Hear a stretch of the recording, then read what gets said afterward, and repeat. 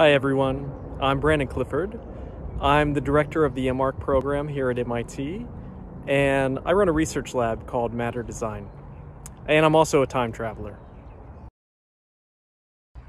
When the Dutch explorers first encountered the island, they asked the people of Rapa Nui how their ancestors could have possibly moved those massive statues. And the Rapa Nui told them, Our ancestors didn't move those stones, that the stones walked themselves.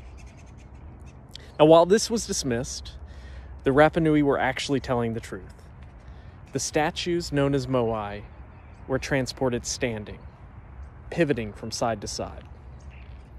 As spectacular as the moai are for visitors today, you have to imagine being there then, with colossal moai marching around the island because the real memorial was not the objects themselves, but it was the cultural ritual of bringing a stone to life. As an architect, I've been chasing that dream about how we can shift our idea of construction to accommodate this mythical side. So I've been challenging myself with putting on public performances of the ancient but straightforward task of moving and standing big, heavy objects.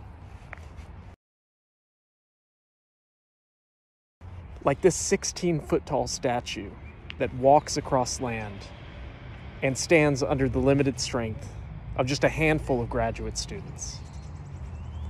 Or this floating stone that swims horizontally under the low bridges of the Charles River and drinks the river water to stand upright.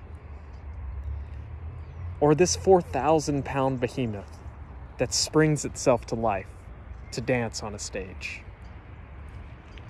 In testing this problem over and over, we started to think about the perception of life in these objects, but also how humans engage with these inanimate beings.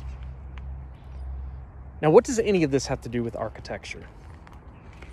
Well, some of the most spectacular pieces of architecture are composed themselves out of megaliths, which raises the stakes beyond transportation and placement and into the logics of assembly and construction. So, more recently, I've been asking the question how can we embed the behavior of assembly into the objects themselves?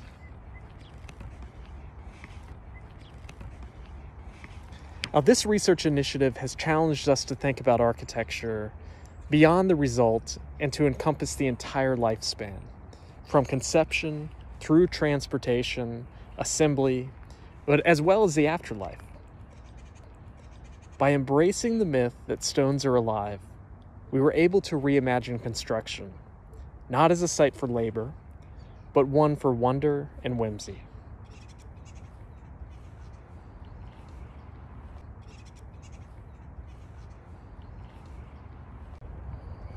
And I'm sharing this particular research agenda with you because it actually started uh, as an options level studio here in the MArch program as a collaboration with Mark Jarzombek from the History Group.